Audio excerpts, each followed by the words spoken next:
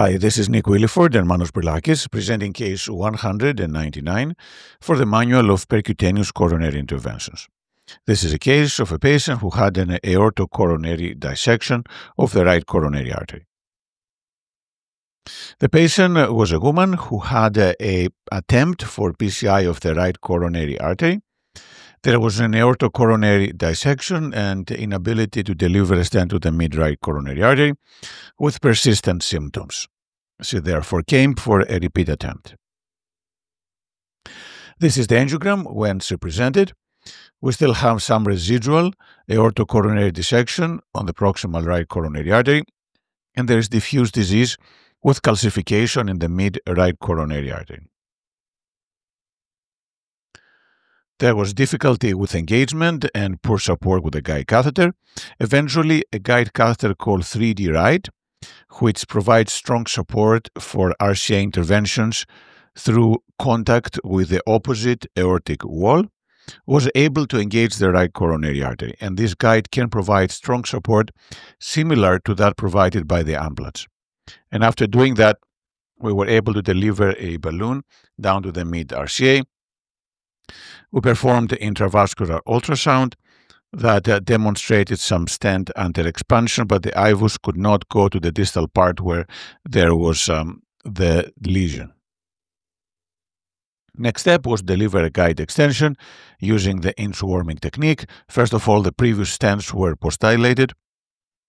And then uh, through the inchworming technique, uh, a Guideliner was advanced to the mid-right coronary artery. So now we have the combination of the 3D right, so strong support, along with the guide extension. There was some dissection caused by the predilatation. This was covered by a long drug-eluting stent, overlapped more proximally with another drug-eluting stent, and then we wanted to ensure that we cover the ostium, so we placed the stent protruding about a couple millimeters inside the aorta. One way to facilitate re-engagement after we place an aorto-ostial stent is to use the ostial flash balloon, which has two balloons. One is a standard non-compliant balloon, and then has a larger balloon that can be used to flare the ostium, and in this case, not only facilitate re-engagement, but also potentially seal the aortocoronary dissection.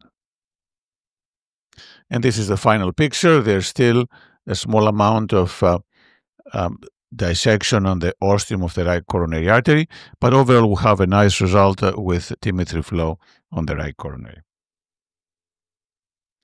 Few lessons from this case. The first one is that if we have an aortocoronary dissection, contrast injection should be avoided. If you have to visualize, then one way is to use a guide extension, engage deeply into the coronary artery and inject through that, or use a thrombectomy catheter and inject uh, through the over-the-wire lumen of the thrombectomy catheter. To prevent the aortocoronary dissection from extending and potentially causing more significant aortic dissection, it is important to stent the vessel ostium and also use intravascular ultrasound to confirm that the stent truly protrudes into the aorta. And finally, for aortocoronary stenting, the ostial flash balloon can be very useful in flaring the stent struts, covering nicely the ostium, but also facilitating re-engagement of the coronary artery. Thank you.